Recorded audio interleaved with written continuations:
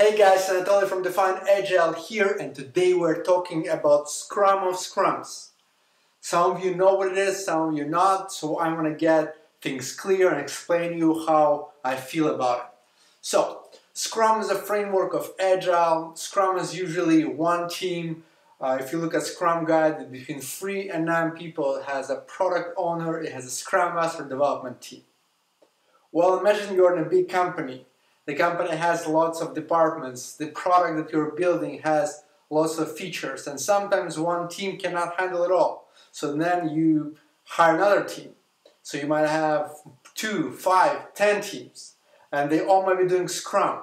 So at some point, those teams might have dependencies with each other, and then you, they need to coordinate.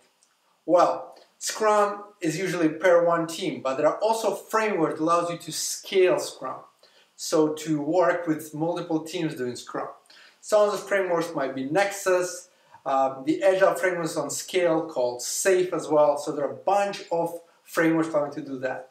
Scrum of Scrums is um, a ceremony.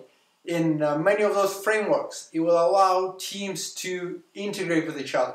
So Scrum is a ceremony in uh, a single Scrum framework that is 15 minutes every day. Scrum of Scrums is again short meeting. You have an ambassador from every team who is responsible from uh, for collecting information from a team, going to Scrum of Scrums, talking amongst each other with other teams, seeing whether there are issues, integration issues, and then going back to a team and explaining what is happening. So essentially, it's just a Scrum amongst represent. It's a daily Scrum, I would say, amongst representatives of the team.